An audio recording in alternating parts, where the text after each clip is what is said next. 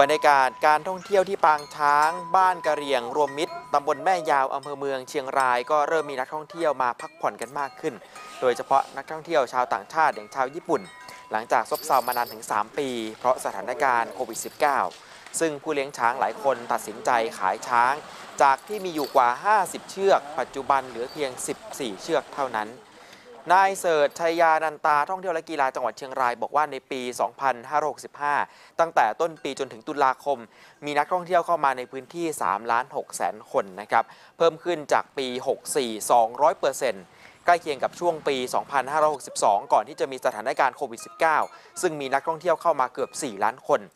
ขณะที่ในปี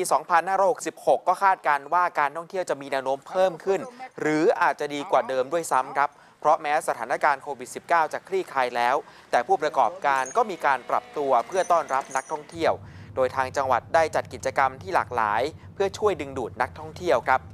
ส่วนภาคการท่องเที่ยวเองก็จัดกิจกรรมหลายอย่างนะครับ ทั้งวิ่งปั่นจักรยาน รวมถึงส่งเสริมกีฬาเพื่อการท่องเที่ยวอยู่หลายชนิดขณะที่ภาคเอกชนก็มีการจัดงานเสริมทัพอีกหลายอย่าง รองรับการเปิดประเทศของจีน จึงคาดว่าตลอดทั้งปีนี้ นักท่องเที่ยวจะเพิ่มมากขึ้นจนถึงหลัก 4 ล้านคนได้ ซึ่งก็จะทำให้รายได้แล้วก็เศรษฐกิจของพื้นที่ดีขึ้นตามลำดับไปด้วย โดยในปี 2565 จังหวัดเชียงราย มีรายได้จากการท่องเที่ยวประมาณ 29,000 ล้านบาท และปีนี้คาดว่าจะมากขึ้นกว่าเดิมครับ